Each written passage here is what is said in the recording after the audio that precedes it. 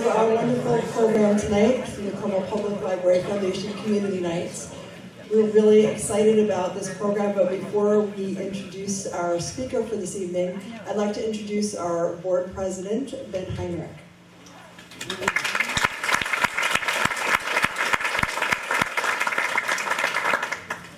Welcome, everyone. It's great to see what a, what a wonderful crowd this is. It's just fabulous.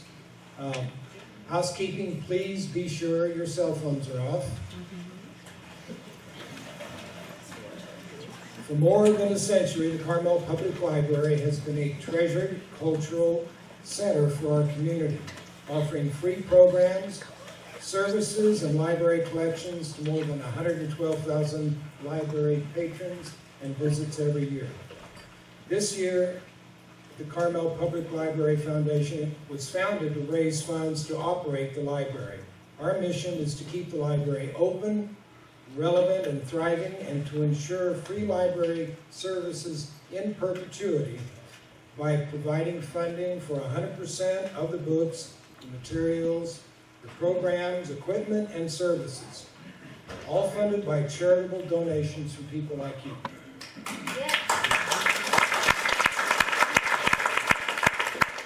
Carmel Public Library Foundation, as well as colleagues like the Friends of the Library, Susan, thank you for all that your, your, your friends do for the library, makes providing all your library services possible. Your gifts have an enduring impact. So a quick word about giving, please consider making an annual donation if you haven't already done so. Any amount is appreciated. Contributors who give an annual gift of $100 or more are invited to our library celebration, Donor Salute, which is held in the spring. It's a special community event, our way of sharing our appreciation. We hope to see you all at this fun and popular event next spring because you are the reason our library is open and thriving. And please note that this year's fundraiser, our annual event, is the Travel Edition, featuring acclaimed travel writers Pico Iyer, renowned novelist and essayist known for his unique and cultural commentary, and Don George, editor-at-large and columnist for National Geographic Traveler and editor of BBC's Travel Words, Words and Wanderlust. The program will be held April 24th, and tickets are on sale at sunsetcenter.org. And now for our program. And just out of curiosity, how many docents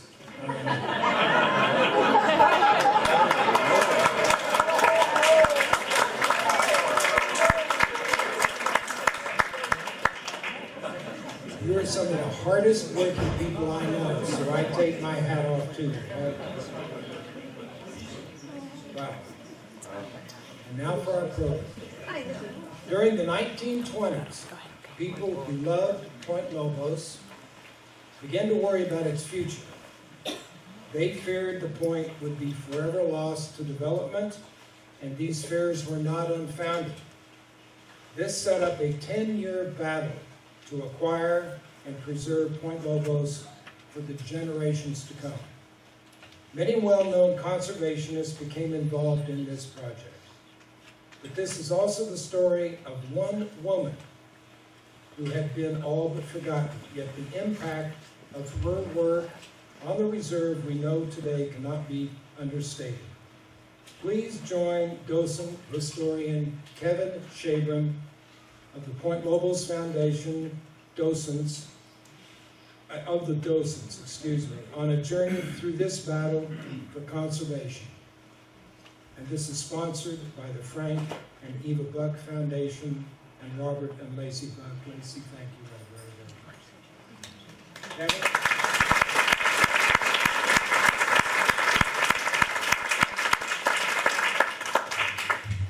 I, I am not a natural speaker, but I think when it gets rolling, things will happen.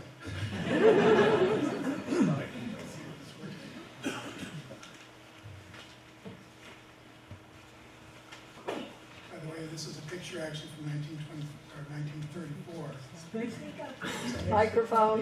This is a picture from 1934. Um, It was uh, part of the Olmsted study that was done at that time. Um, I happen to have a whole bunch of those pictures, and I like to show them whenever we get a chance. So, um, there's something about Point Lobos that affects everybody that comes to see it.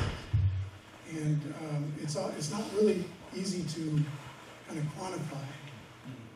Um, It, it doesn't just attract poets and artists, it really turns people into poets and artists. So, um, what I'm gonna talk about is, uh, happened in nineteen twenty, or started in nineteen twenty-five. And, um, it was basically a gathering storm of the, um, the fight to save it.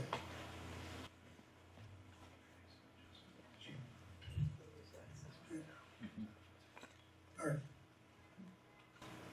So, um, I'm gonna start in nineteen twenty-five in, um, April, that, um, the uh, Save the Redwood League was pushing for some legislation to create a, a state park system. It actually passed in the legislature, uh, almost unanimously, but uh, Governor uh, Richardson um, vetoed it uh, for political reasons. Uh, You might note also that Governor Richardson is the one the, the Richardson Grove is named after. He regretted his decision years later, at least he said he did. Um, in 1925, in uh, May, there was a meeting here in Carmel. It wasn't a meeting just for people in Carmel, it was a meeting for people on the peninsula.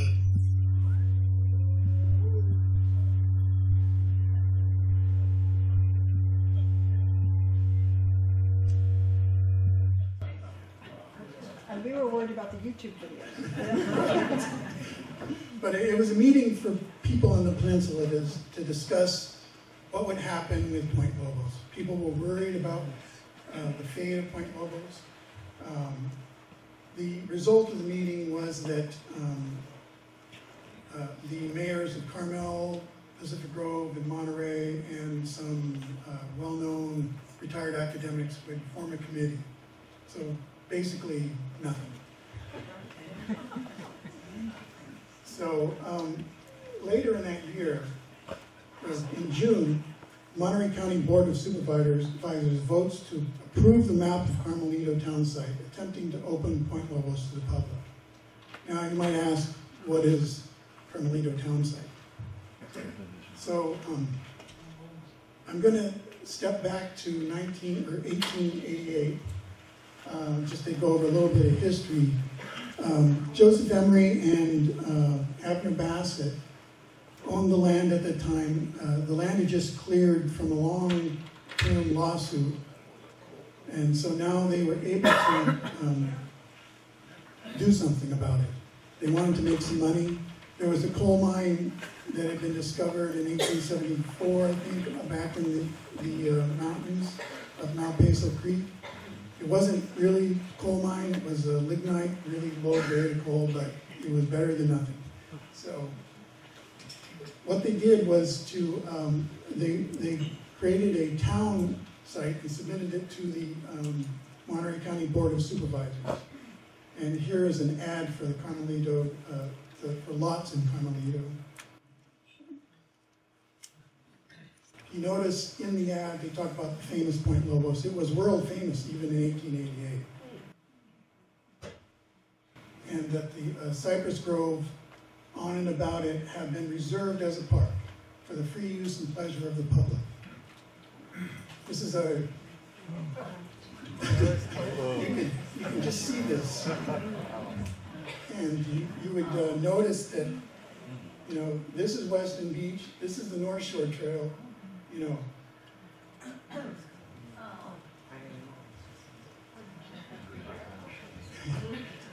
Yeah, it would have been quite terrible, actually. So in this, in this map, um, Emery and uh, Bassett, I guess Bassett actually by this time had passed away, but they uh, designated the very far out point, the uh, Cypress Grove as park. Okay, so, and they submitted this to Monterey County Board, uh, Monterey County Supervisors. Um, In 1897, Emery uh, actually hires Alexander McMillan Allen, who was a mining engineer and a developer. He built uh, racetracks. Um, he did throughout his career. Um, but he was hired originally to open the coal mine again because it had gone out of business, had a cave in. Um, they were the 1890s was a uh, there was a depression in the 1890s. 1893 a stock stock crash. Basically, the Carmel um, Land and Coal Company was in bad shape. Allen moves his family um, down and uh, he works out a deal to acquire Point Lobos himself. Takes it over. It, uh, a lot of the deal had to do with um, taking on debt from the Carmel Coal and Land Company, or Carmel Land and Coal Company. Also, uh, his wife Sadie Allen, um, she urges him to put up a gate and a fence to protect the point in the cypress groves. There, you know, people at that time would just come and go out there and, you know, build fires and do whatever they want, um, as if it was free and open land. And so they, they basically closed it off and charged a fee to drive a wagon in, or a buggy in, twenty-five cents at the time. Later went up to fifty cents. So, well, before that, um,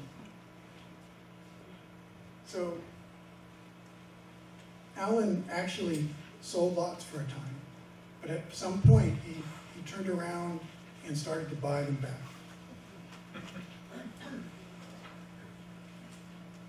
So the whole family um, was caught in the, San Francisco earthquake. They happened to be traveling, or uh, Sadie Allen was traveling back from Chicago, and uh, Allen and his three daughters were up to uh, meet her in San Francisco, and San Francisco earthquake happened. So, um, so that was a very traumatic experience, and um, for Sadie Allen, it was um, she basically her health deteriorated, and, and she died in the next year. From that point on, the uh, buying back of lots really intensified, and Allen's goal was to to free Point Lobos, free the thing of the um, Carmelito town site completely and wipe it off the maps.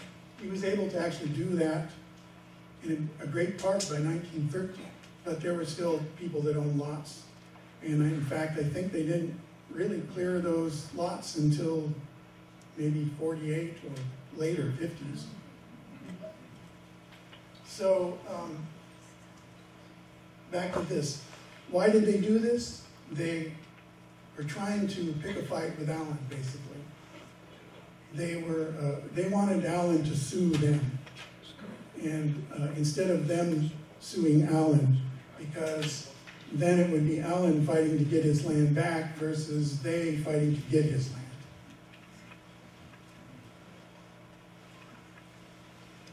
So this was driven by um, uh, Supervisor, uh, Monterey County Supervisor John, John L.D. Roberts.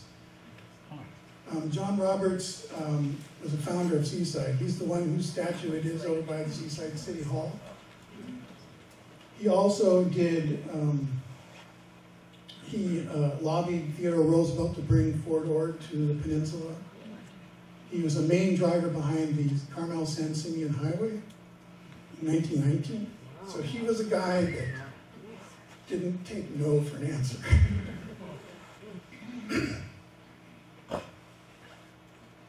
he contended that the uh, city streets were public and that the park was a public park dedicated to the public problem was it is that the monitor, the supervisors never actually voted voted for it to approve it, and until 1925, which was kind of an empty thing because Allen wasn't asking them to do that.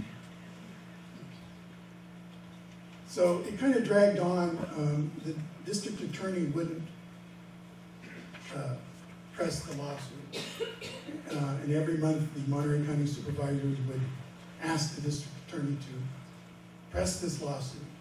Um, all during this time, there were rumors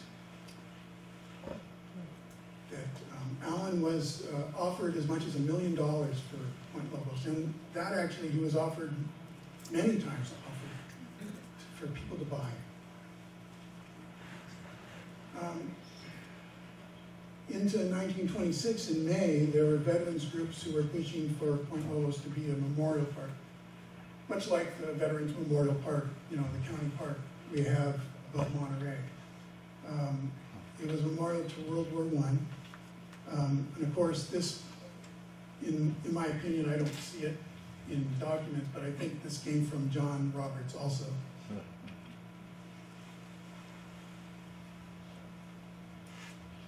So uh, about this time, um, a lady by the name of Carolyn Phelps Stokes, Carolyn Phelps Stokes Hunter comes on the scene. She uh, is aware of the controversy that's happening. But let me just give you a little bit about who she is because she played. She uh, it matters later. She was uh, um, the daughter of Anson Phelps Stokes, a, a prominent uh banker and philanthropist New York. Um, she uh, um, happened. She she married Robert Hunter, who was a writer. He he uh, in New York. He some of his friends were people like Mark Twain, Upton Sinclair, Jack London even was a friend of his. But um, he taught at Berkeley, and Berkeley is kind of a, a crossroads because uh, two other characters in this were also happened to be at Berkeley at the same time. Um, John Merriam, who was a professor there, and uh, Margaret Hudson was a student there at that time. So, in any case, uh, Robert Hunter was a uh, an amateur champion golfer, and um, in fact, he wrote a book called The Links, which is well known in the golfing world. He's also um, a designer with uh, Alistair McKenzie of the Point, uh, Cypress Point Golf Course, which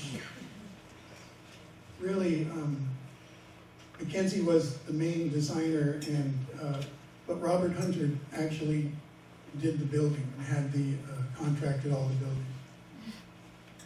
So that's Carolyn Hunter's connection to what happens next. So, June of 1926, Carolyn Hunter writes a letter to Samuel S. Uh, uh, oops, I got that wrong. Samuel F. F. S. B. Samuel F. B. Morse uh, of the Del Monte Properties. Properties. Sorry about the typo. Um, and the reply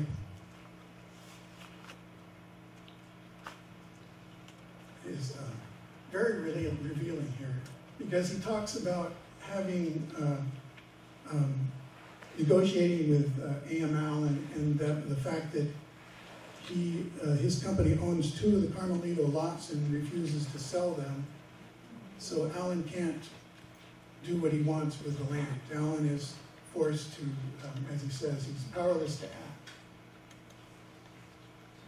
Um, the other thing that he says is, um, and Carolyn Hunter uh, relates this to Newton Drury um, later in a letter. It says, the letter, instead of, uh, basically at the end of the letter, um, Samuel Morse says, um, we have this well in hand and there's nothing to worry about, you know, um, more or less uh, condescending, you know, don't worry your pretty little head type uh, comment. So, anyway, what she relates to uh, Newton Drury is that the, the letter, instead of being reassuring, was as in, as was intended, was extremely alarming because to her it looked like Allen was planning on subdividing and selling lots in Point Lobos. or Carmelita or- Morse. uh, no, Allen, she thought Allen was going to sell homes. That was, that was the issue. Okay, because Alan wasn't gonna sell it to Morse. Then in nineteen, uh, September sixteenth of that same year, things begin to heat up. Um, I've heard this story, but this really connects it to what's happening. So, um, John Roberts sends the, um, county roadmaster, um, his name was Serrano, out to tear down the gate into Point Lobos. Um, Roberts wanted to establish that there was a free access to Point Lobos. He was also trying to get Allen to sue the county instead of the county suing Allen. I mean, I think it would, it would have been better for them. Um, So uh, Allen actually, according to the uh, newspaper's article of the day, um, put the gate back up and threatened Serrano and shoot him if he came back. So, um, so this, uh, and so even in this article, they're saying, if you don't, if, if telling Allen, if you don't sue us, we're gonna go ahead and sue you, which was fine without. So, um, and then, uh, later, later they, um, in December, basically, the county does file the suit finally. They've been talking about it for years, but they didn't actually do it. So on another track, uh, Carolyn Hunter writes to William Kent. She's really concerned about what's going to happen with Point Lobos. She, as she stated, she was worried about a Coney Island development. You know, um, hotels, everything built at Point Lobos, and it could have happened if, if you know, if Allen wasn't there to, to keep it from happening. It very well could have happened. So uh, William Kent is um, a, he was a congressman and he worked with John Muir to create the national park um, legislation that, uh, in the uh, early in the century. So um, she basically went to the big guns. She, she went to, if John Muir was alive, he would have got a letter from her. So William Kent is also uh, the person that um, acquired and donated Muir Woods.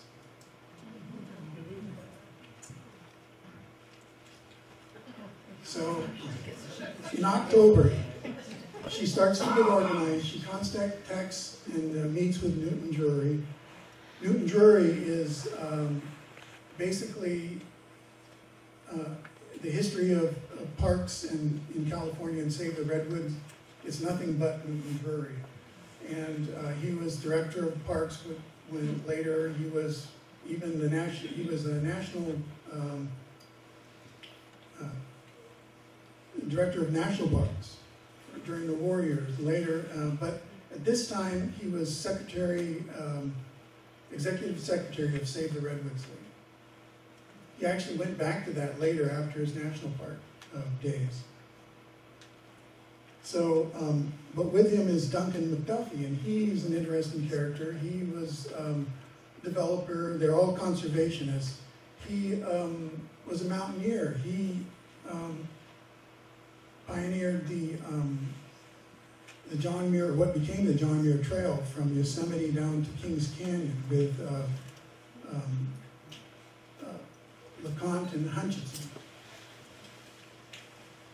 And then also Aubrey Dru- Drury, who is Newton's brother. Um, an interesting fact about the, the two Drury brothers is they have a childhood uh, connection to Point Lobos. They used to come down from San Francisco, stay in Seaside, and take a buggy ride out to Point Lobos to picnic all day. In fact, all of these people here, William Colby, he became the um, uh, chairman of the Park Commission, but he was also the, um, under John Muir, he was the um, secretary of the, the um, Sierra Club. And then the last one is John Merriam. John Merriam was a paleontologist. He um, was great, very much involved with parks throughout the country, and especially California parks. His cousin um, Lawrence Merriam was became the, uh, the governor of California. Um, but he's a key key figure in here. He was a founder of the Save the Redwoods League. Uh, but John Merriam is a central figure and was in communication with all parties, and everybody seemed to like him. I'm going by the letters that I've re- read.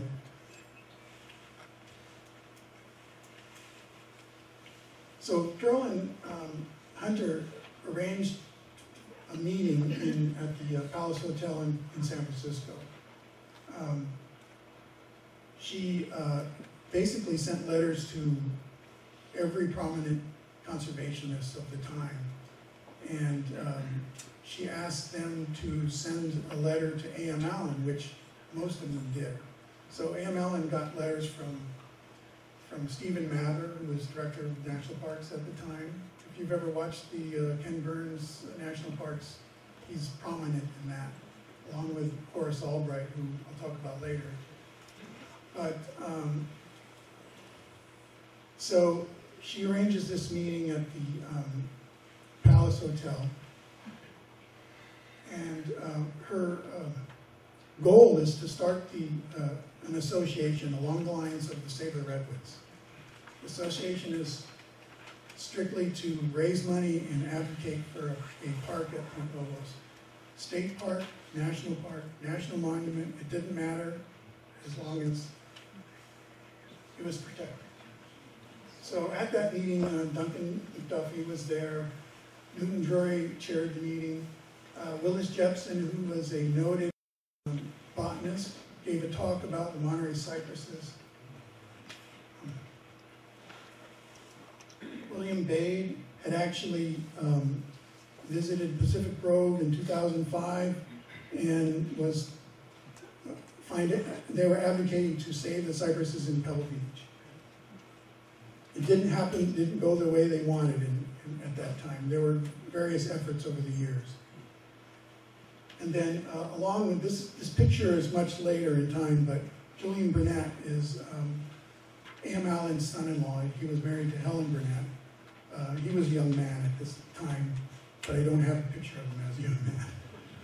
He, he came to the meeting not to join the Point Lobos Association, but to give Allen's view and point of view from the thing.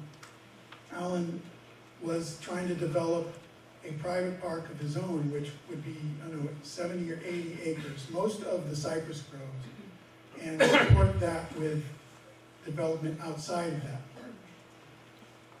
You have to remember, back in this time, part of Point Lobos was developed. There was the Whalers Cove area, which had buildings and roads and what have you.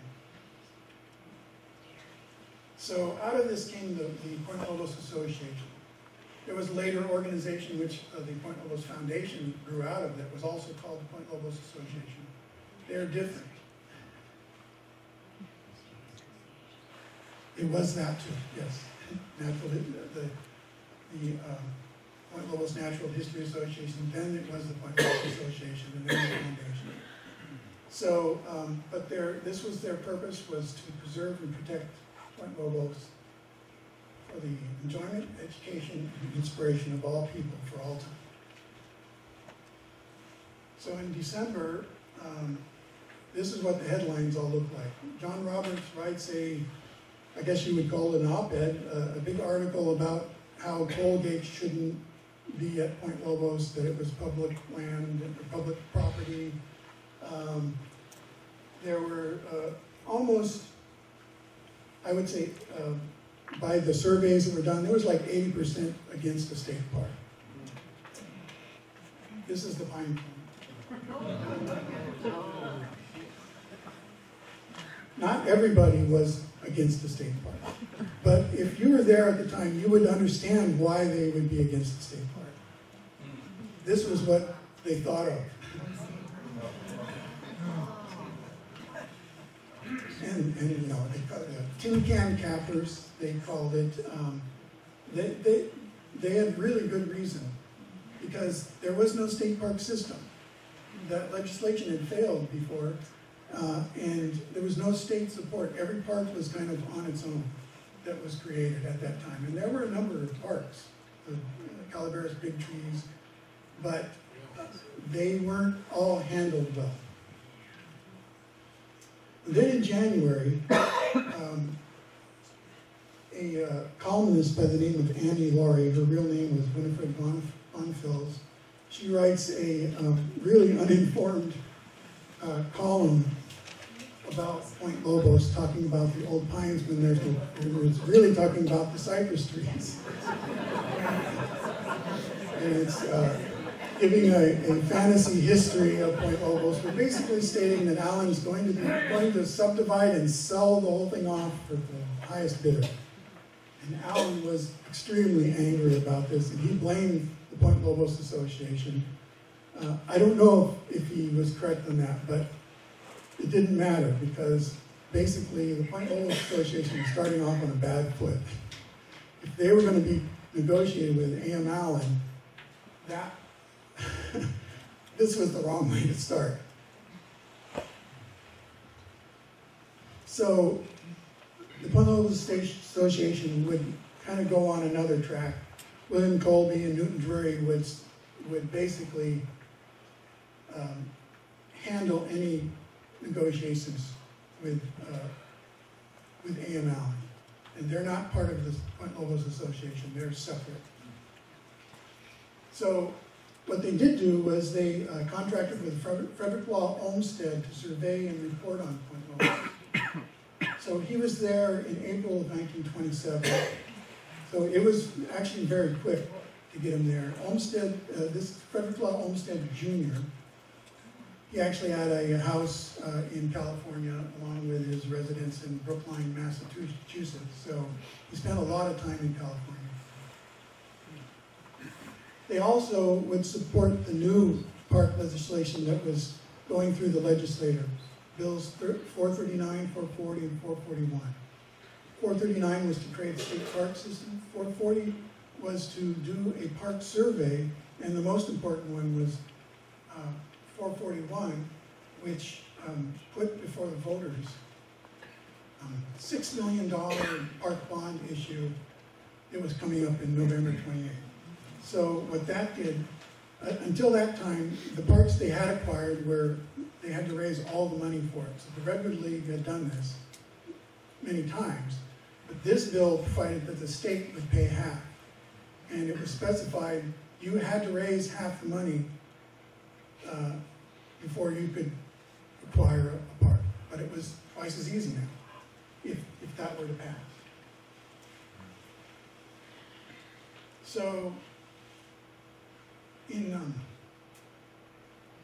January of 1927, John Merriam, who was um, um, president of the Save the Redwoods, who was also president of the Carnegie Institution, and um, he was the guy who opened La Brea Park tar pits. He was a paleontologist. He was involved in parks across the country and the park movement. It was kind of his, his hobby. It was his passion to do that. He gets in contact with um,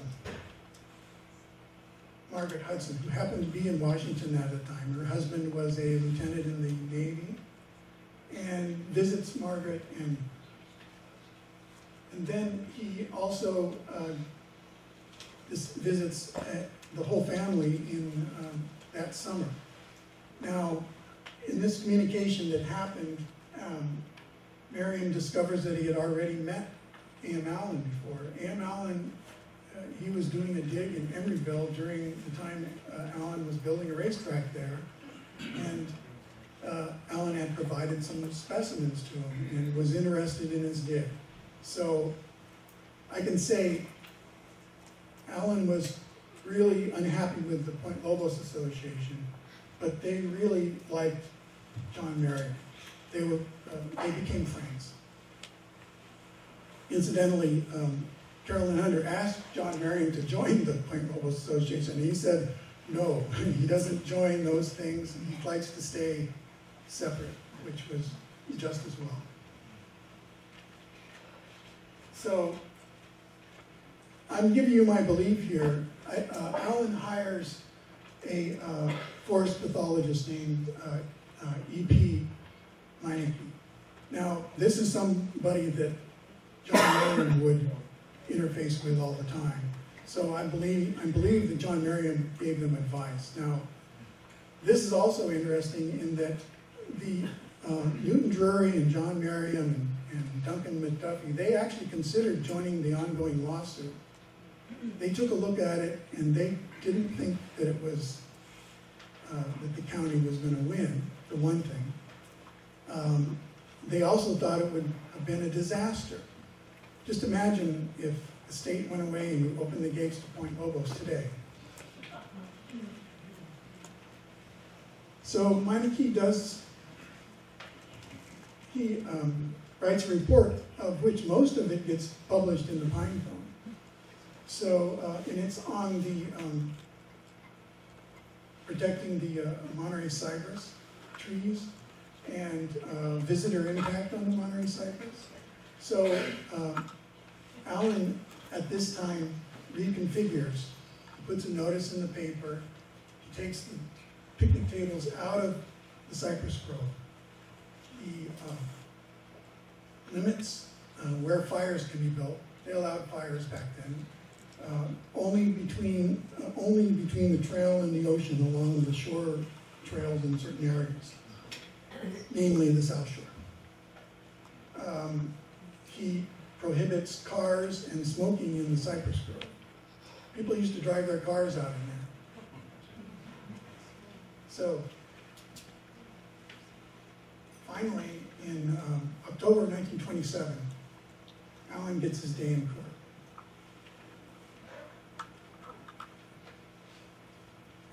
And the county just totally loses.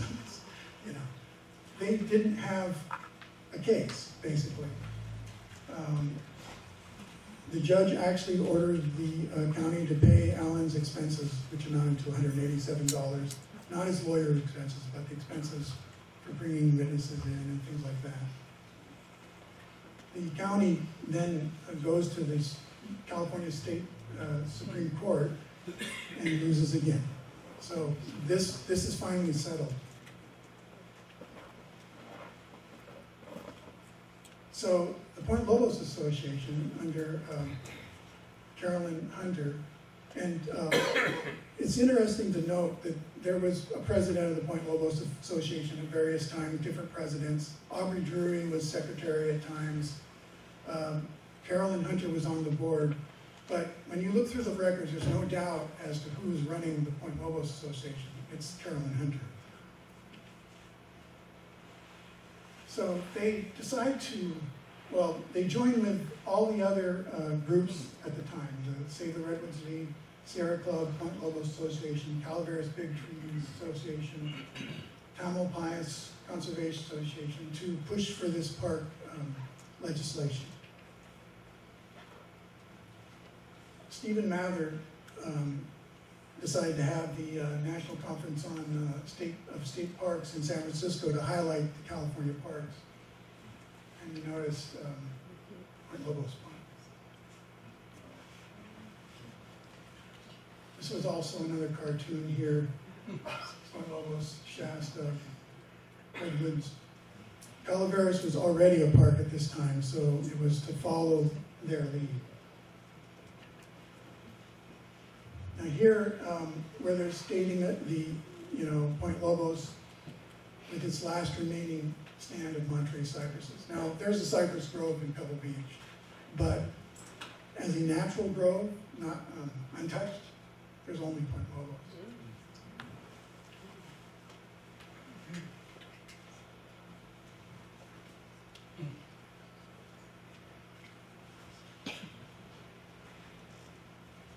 It's not a very good film, but um, it does, uh, I imagine it was shown at meetings throughout the state. There were other films like this. This is 1928, I believe.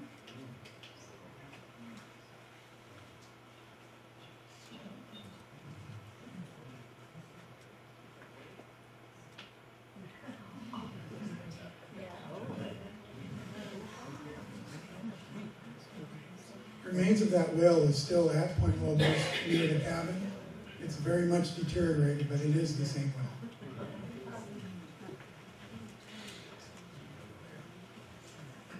That's the veteran cypress. It looked like it was about to fall off the cliff even then.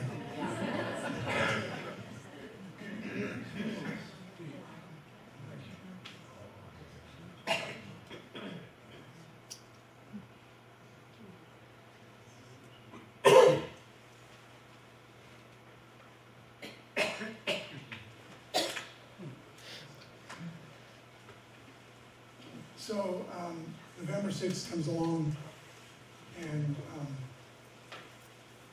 bond issue passes, three to one. So, which is a great showing. So after this, um, or during that year, William Colby had met with A.M. Allen to negotiate.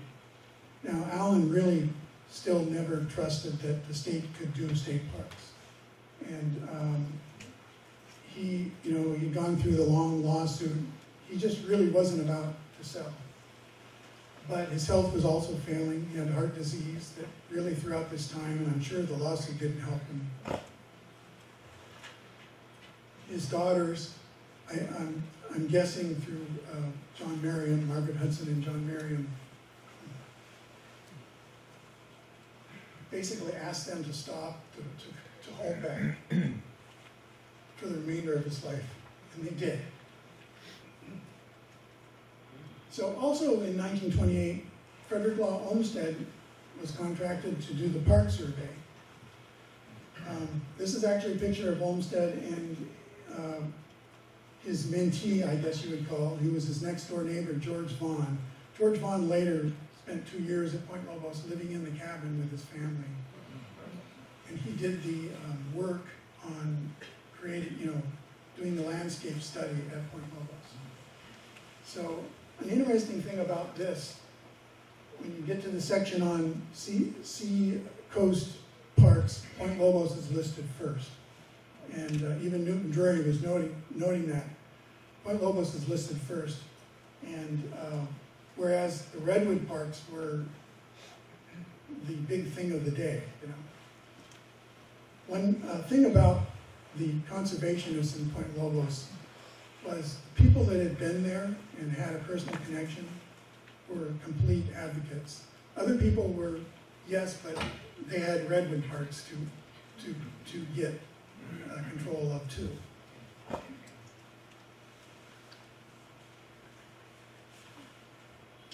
And then, 1929, the British invaded.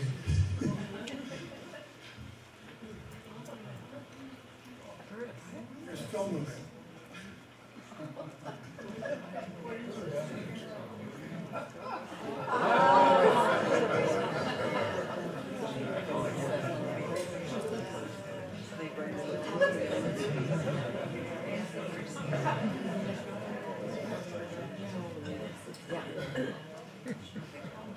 Not only that, but they burned the village down.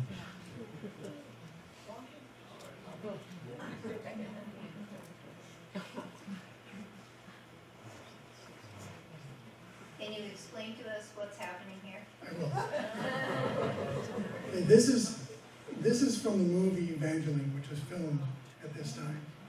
And it was a, um, um, bit of a controversy because, uh, the, the filming of movies put in a lot of, I mean, Sand Hill for an earlier movie was completely decimated and destroyed. You can see, this, this, uh, it wasn't lost on people that they're burning the village down next to the last remaining cypress grove.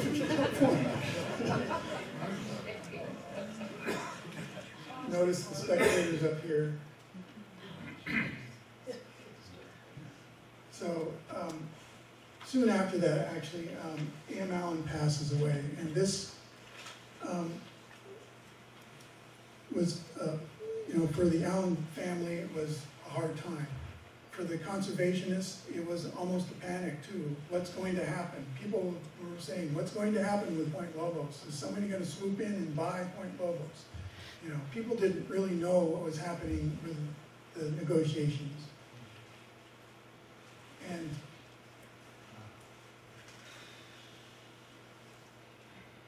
so Allen had made his daughters executors of his will, and only his daughters.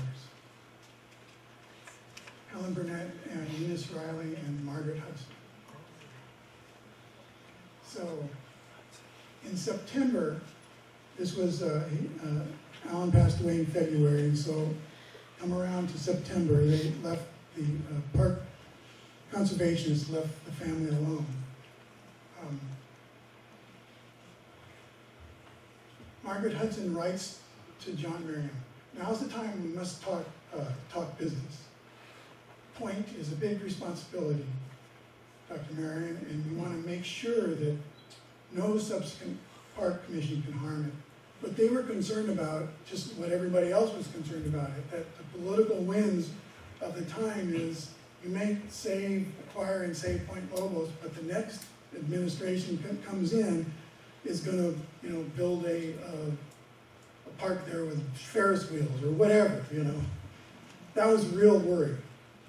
So Merriam had actually talked to them about putting uh, some kind of restrictions in, in um, selling, you know, if they were ever to sell uh, Point Lobos, there was ways you could put restrictions on the state. At the same time, they had gotten offers from Del Monte Properties, so people were swooping in, but they weren't taking it. And this is kind of an interesting ad. I'm, I haven't dated exactly when it is, but it's right around this time, 1929, 1930, or 31. And Del Monte Properties is putting an ad about Del Monte Properties, yet they show a picture of Point Lobos.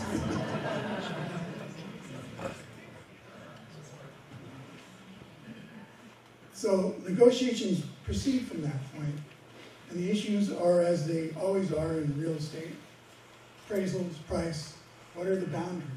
That's usually not in real estate, but there was an issue as to where the boundary was for Point Lobos because the Allen family wanted to be able to still live there, and there were some houses, I think, in this area.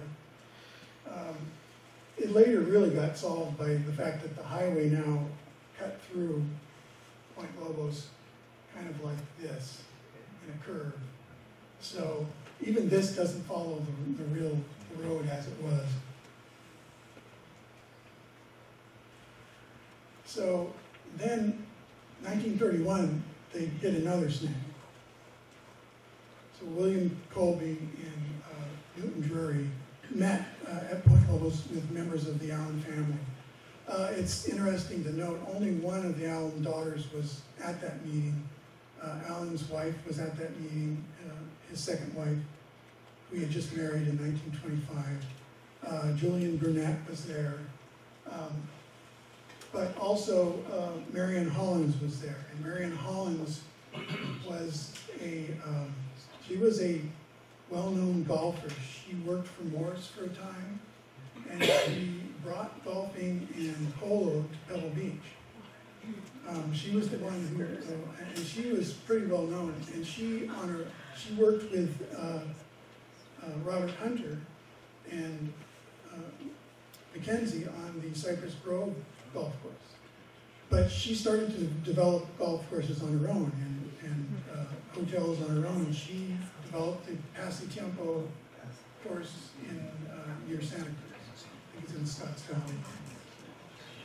So she came in and, into this meeting and she said she had an offer of one point five million dollars.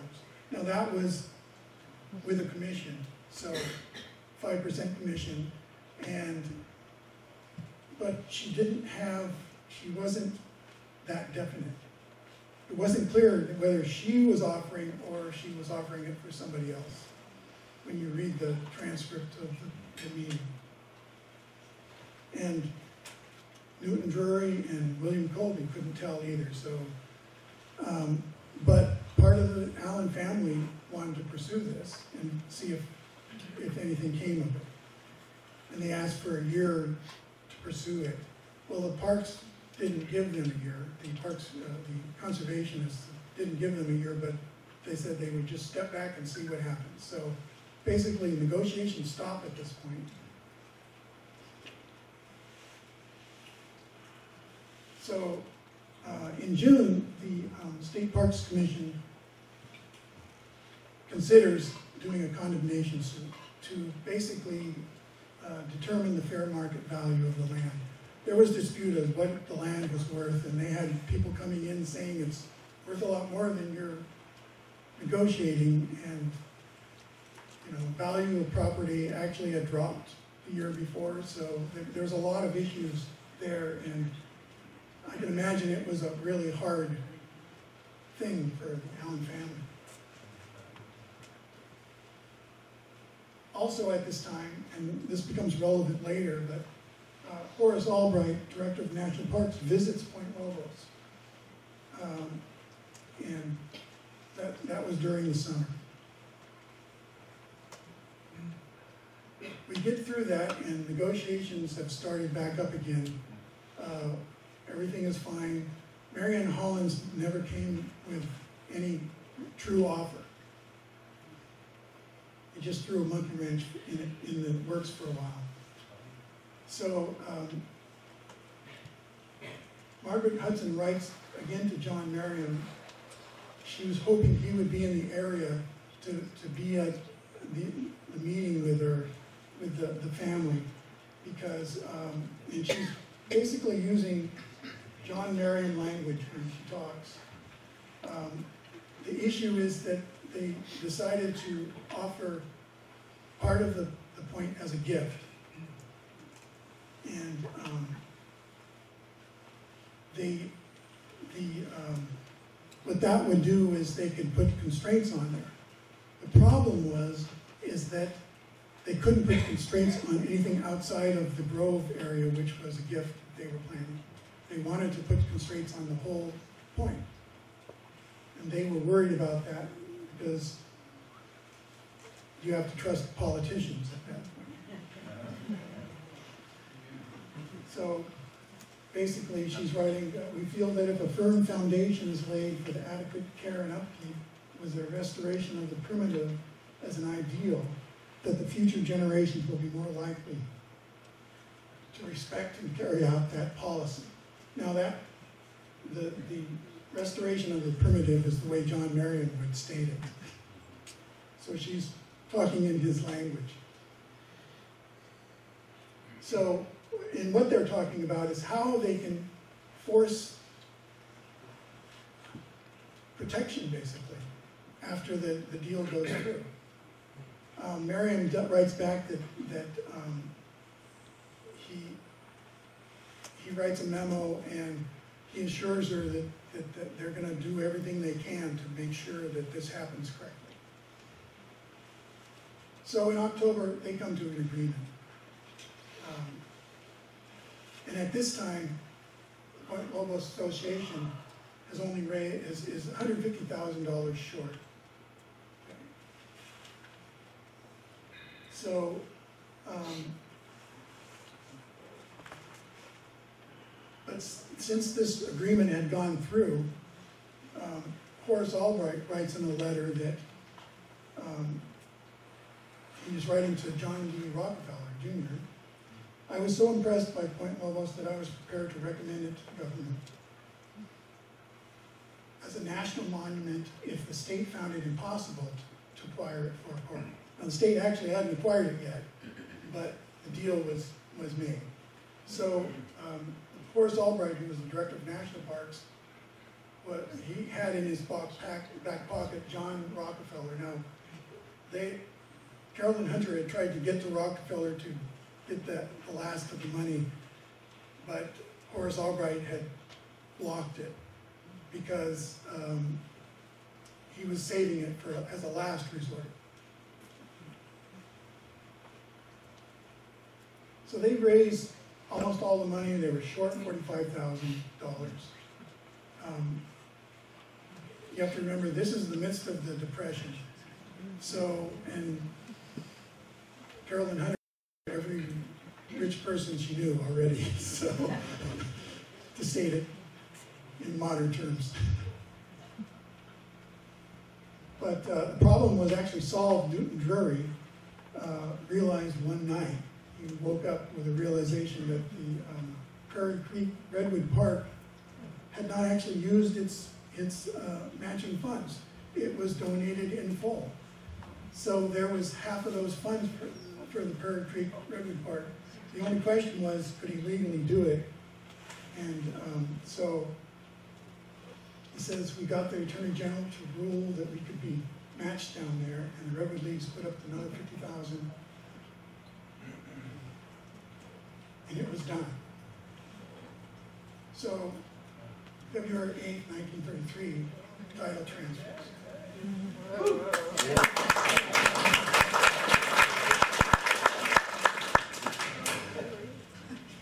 So, they weren't actually done.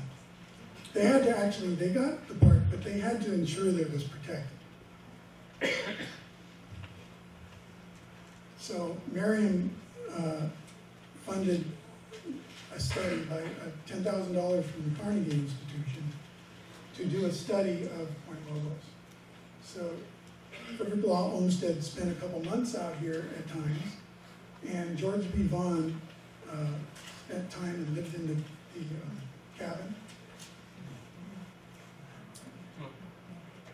His wife was uh, part of the, Martha Vaughn was member of the um, uh, Garden Club. She wrote articles about Point Lobos in the Garden Club magazine. So the result was in 1936 was the report on Point Lobos to the Point Lobos Advisory Committee. And this is a book about that thick, of which there are many pieces that we have in various publications. It was the first report of its kind. Nobody had ever done this. And it was a model for future state park, or future national parks. So, just to um, kind of go over, this was the original acquisition of Point Lobos. You notice that this option, which was option four, it was actually an option, I forgot how much, sixty thousand dollars option, was never exercised. Carolyn Hunter did her best to raise money for this, but uh, this was heading into the war years and the war got in the way. She was also advocating for another park in, in the Redwoods, the Children's Grove, Children's Forest. So, um,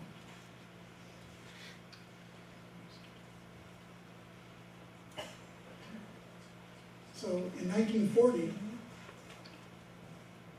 the islands were not actually part of the park until nineteen forty. They were added by, um, the legislature because they were considered just state lands, I guess. Nineteen sixty, the underwater reserve was added, it's the first in the nation. And then today, we have this, now the underwater reserve is much bigger now, and it's also added to that as a marine protected area. So, uh, it's outside of the view of this map. So that, that's the reserve we know today.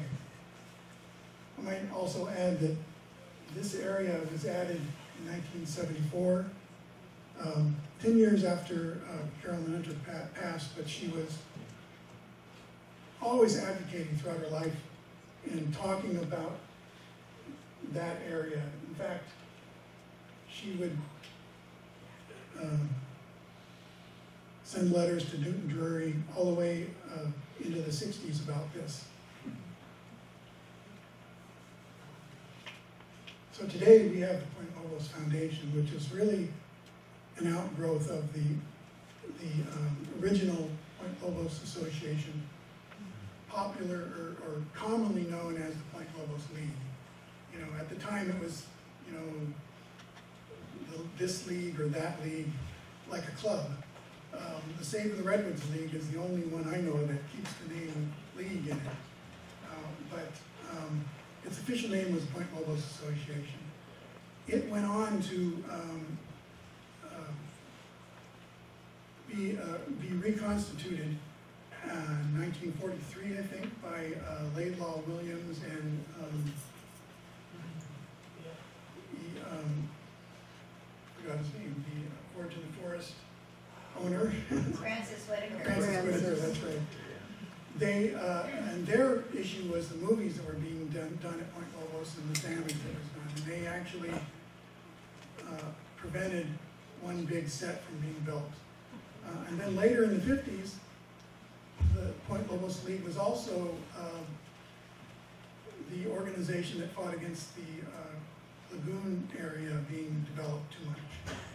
And, um, in that version of the Point Lobos League was um, Margaret Wentworth Owings, Jud Vandevere, was, uh, he was involved with that. Um, That, that's interesting in that Margaret Owings, when she went to, I guess it was in Santa Barbara or Morro Bay, it was a meeting about the otters. She didn't have an organization, so she said she was from the Point Lobos League. After that, she started the Friends of the Sea Otters. After that, and then later, the Point Lobos League existed, well, almost nineteen seventy. And after, and then later, the Point Lobos Natural History Association, a new Point Lobos Association, and now the foundation, Point Lobos Foundation. But today, Foundation's purpose is different than the original Point Lobos League, which was to create, to create a reserve, really, is what it became. To them, it was a park they didn't, there was no reserve defined. So, um, we have a lot easier time of it now because we have a. We have a reserve already. So all we have to do is protect it. This is just one project that's happening right now, this is um, South Shore Restoration, where we're replanting parts of the South Shore that have been completely overrun with people walking all over the, the areas that used to be vegetated. Um, I myself remember as a kid, the areas that used to be vegetated and that are now just bare ground. Uh, So that's one of the things that's happening with the Point Lobos Foundation. So, thank you.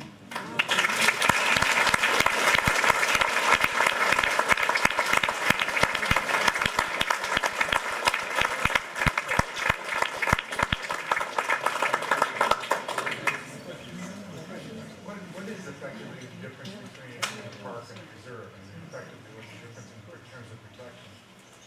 Um, a park can have camping, it's a recreational, um, defined for recreational, reserve is defined to protect the area.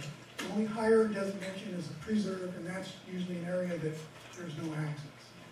The problem that comes up is, you know, the state is kind of mandated to provide access, but even a higher mandate is to preserve and protect the land. So you'll see areas that get closed and areas that get fenced off. And that's not to be mean, that's to, uh, it's because the area is too much wear and we need to preserve it. So it's more protection in terms of primitive area. Yes. Yeah. Cool. Yeah, why I'd like to introduce my wife, Pat Hunter. Gregory. Her grandfather was Caroline. And the grandmother, grandmother. But a neat little anecdote, uh, our youngest daughter, uh, was Point Lobos with this really neat guy, he asked her to marry him. And she said yes, so Granny Hunter would be pleased.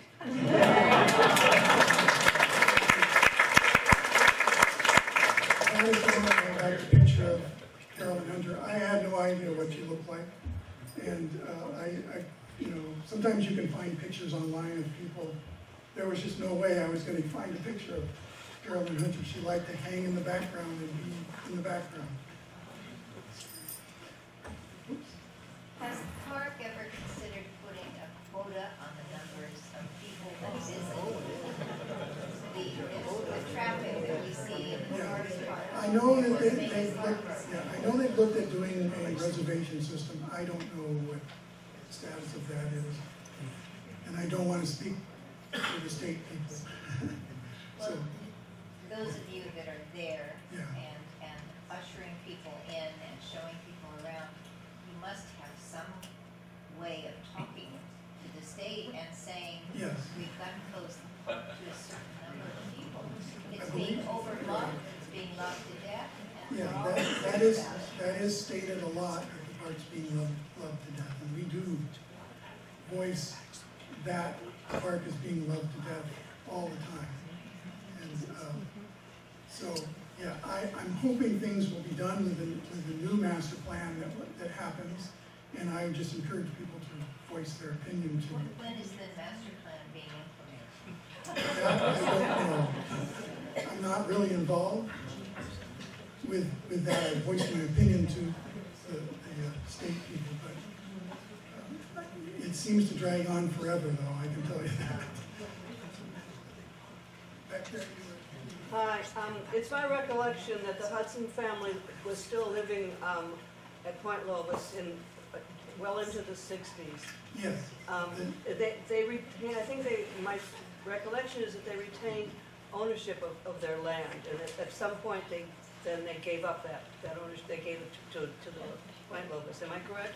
well, the, the deal is, uh, for the donated lands, and I didn't state it, the donated lands out at the point, if anything ever happens to the cypress groves, the land would revert back to the Allen family. That's the restriction that they put.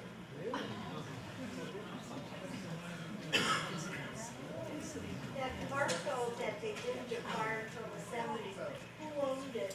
And then That was the how- Hudson property. And then the state bought it from them? Um. I think the state bought it, I don't remember. Some of the Allen family could probably tell us. One point four? There are some of the Allen family here, some of the Hudson family here too. Yeah, real, real quick, what's the uh, status of the area that's to the east of Highway one? Uh, that's another one, I know that's part of the master plan, but I don't, I know that there's plans to make access, but I'm, I'm not the one to answer that one. Kevin, Where was the coal mine? Coal mine was up in Malpaso Canyon quite a ways back. So it was, the Point Lobos was the point of exit. They brought the coal down in wagons, and then they brought it out to the point to the coal chute in little carts. Monica? Kevin, since this is not a political planning meeting here, tell us a little bit about what sources did you use? How did you come about delving into this, and where did you go to make all those connections? Well, um, finding names is, is good, and if, if it's a famous person, you can do online searches. So people like John Merriam and Newton Drury and Aubrey Drury, they were easy to find. Also, if it's a famous person, sometimes they have their papers at a library. But the, the majority of the information I got came from the Point Lobos League records. So, and that came from um, Carolyn Hunter herself. She gathered all that information and donated it to the Bancroft Library. So there's five boxes of papers and letters and uh, just maps, anything you can think of, and it's in no particular order.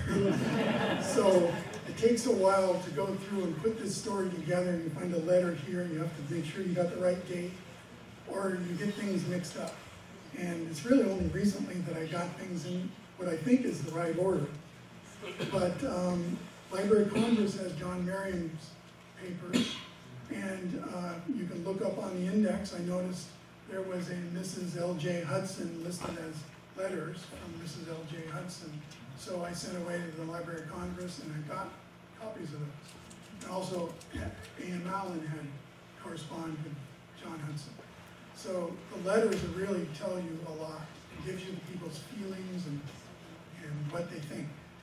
Sometimes documents, news articles, they're very often completely wrong or biased or just a problem. So you have to take a news, anything in the newspaper with a grain of salt. But if you corroborate it with somebody's letter saying, yeah, I did this, that's um, much better. Is there more of a backstory about the three Hudson daughters, um, did, did they all in the end agree with selling to the state, or did some Yes. want to hold out for development money? They, I think they all agreed, I think they all really had a conservation ethic that they got from their mother, um, according to the Hudson family. There, there, there's really no doubt that they, lo-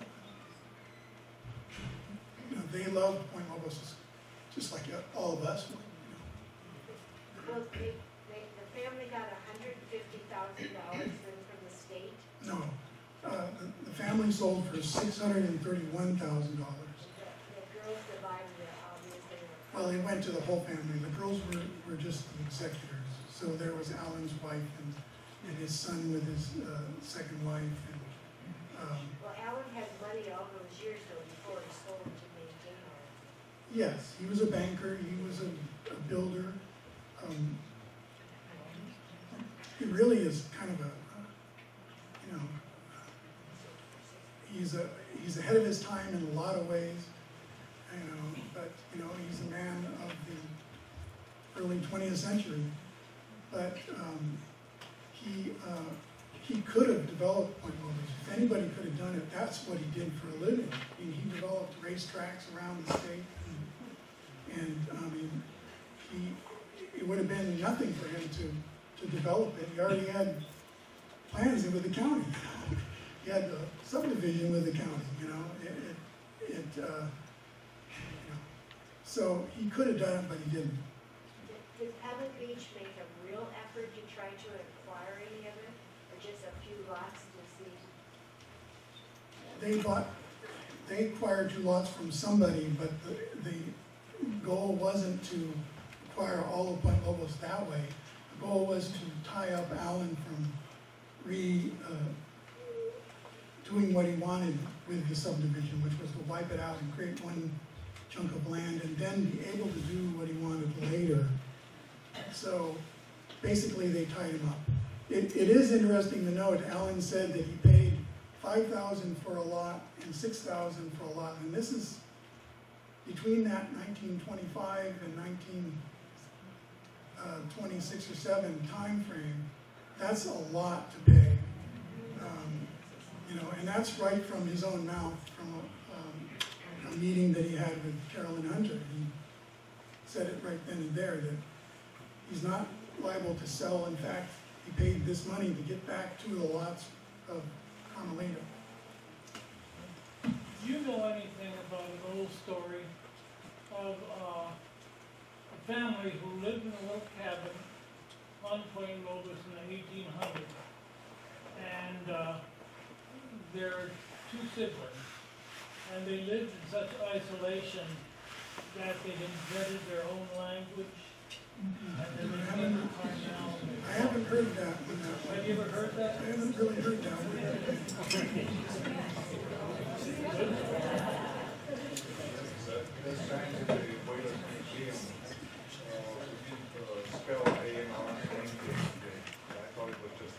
I'm- I'm actually-? I think I'm told by John Hudson that Alan did spell his name like that at one point and then changed it to A-N. Is that right, John? It with at one point? Yes. Yeah. In, in the nineteen twenties, there was a academy in County. Yes, And there was a Japanese community, yes, and there were several homes. yes. Those were later demolished. Do you know when they were demolished and why? They, they were not all demolished, some were moved across the street. I think some of those buildings may still exist. I don't um, think. Um, I know one of them does at I least. don't know, do you know what happened to that, what happened? to the coal chute. The state took those down, basically. It's really uh, kind of amazing they, they didn't take down the cabin itself, because they knew it was somewhat historic. There, uh, at that time, George Vaughn is, and Olmsted is responsible for calling it the Whalers Cabin. They kind of assumed that the whalers um, lived there. The history was kind of uh, brought out when the lawsuit went through. Allen had a history done and researched all this stuff as part of the, uh, when the lawsuit, and, and that was, uh, and ended up published in the papers. So they knew about the whaling that was done, they just didn't know about the Chinese uh, people, because the cabin was built by Chinese. And, later there was the Japanese. Yes, and Allen was partners with uh, Gennosuke Kodani. And I'm rather surprised that there is no recognition or plaque or anything to recognize that village, which was very much part of Point Lobos. Yeah, the I museum has, whalers and all right. that, the the museum has uh, information in, in, on the Kodanis and Kodani Village, what that area was But, uh, called. I understand that, my question is that it was a recognized community, and I just wonder why there was never any kind of recognition of that. It's like gone, and I was, you know, historically, like a little plaque or something, because it was very part of village. Yes, it was part of Lobos. In fact, uh, Gennosuke Kodani was a partner with AML. And um, at the, at, when Kodani died, Allen went to his funeral and people remarked about how he's going to a Japanese person's funeral. And, you know, the time, this was nineteen twenties, you know, and, uh, even after Allen died, um, back in the uh, town in Chiba in Japan, they put a, did a ceremony for AML and a funeral ceremony. I didn't show a picture of that, but uh, we do have a picture of that. Do you have, um, you mentioned twice Sadie Morgan Allen's conservation ethic. Do you have any more information on that, or how you got that sense? I mean, we always talk about A.M. Allen, but you mentioned Sadie twice. I got it, um, just various, um, some of the family members, your family members, I think. I got it uh, from the, uh, some of that is I'm, I'm, I'm making a guess on that. Um, I think some of it came from, uh, Sandy Lydon, I think, and, um, it's an area that, you know, I'd like to find out more about. Kevin, But- I, Sandy Lydon had a long talk on that, on Sadie's influence. Yes, yes. That's basically where I got it. How are you doing?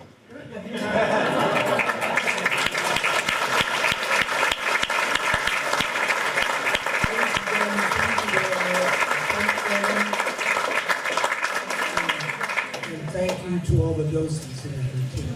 We could have gone on forever.